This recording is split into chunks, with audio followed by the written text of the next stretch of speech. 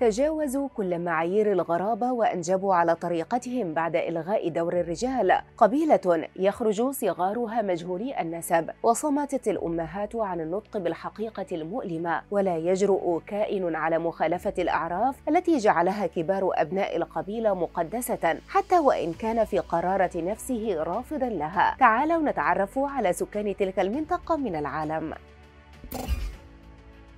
لا يجوز أن ينسب الطفل إلى أبيه فلا مكان للرجال ولا دور لهم. أما الرجل إن أراد سلاما فعليه أن ينتقل بعد إقرار الزواج رسميا للعيش في منزل الزوجة في هذه المنطقة الغريبة في آسيا. إنهم أبناء قبيلة خاسي حيث لا وجود ولا اعتراف بالمجتمع الأبوي. والمرأة هي القائد والمدير والأب وهي كل شيء. وخصوصا كبيرة السن. ولا يجوز أن يعترض أحد على ذلك الدور. فحتى الحديث عما يسمى حقوق الرجل يتم تداوله سرا بجوف الليل حتى لا يتعرض المتحدثون إلى انتقادات ومواجهات لا طاقة لهم بها. يحيون في ولاية ميغالايا شمال شرقي الهند وقد ترك سكان القبيلة بأكملهم مصيرهم في يد سيداتها.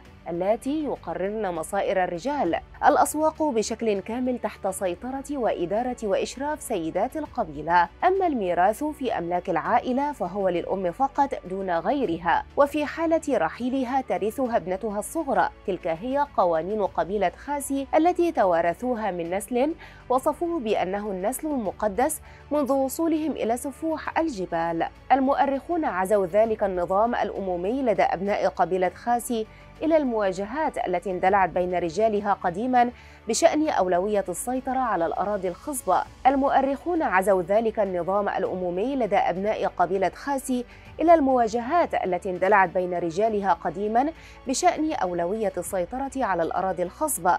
وزاد عدد النساء اللاتي فقدن أزواجهن في تلك المواجهات.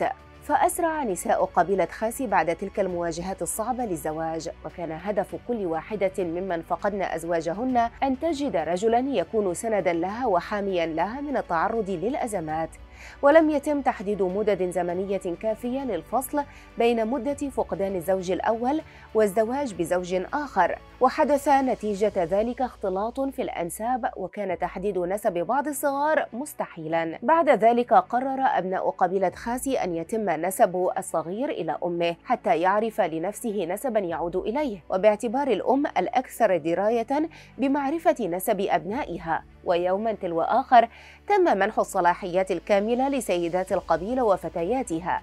فلكل منهن الحق في أن تعيش كما تشاء في سكن تحدده دون ارتباط بالعائلة ويستثنى من تلك القاعدة الفتيات الصغريات وذلك لأن قوانين القبيلة تفرض عليهن تحمل مسؤولية إدارة الميراث ورعاية الأسرة. الرجل في تلك القبيلة لا يشعر يوما بالأمان ويرى أنه بلا دور وقد يكون خارج المنزل في أي لحظة. وأصبحت حقوق الرجل بين أبناء قبيلة خاسي مطلبا قائما يتداوله الرجال سرا.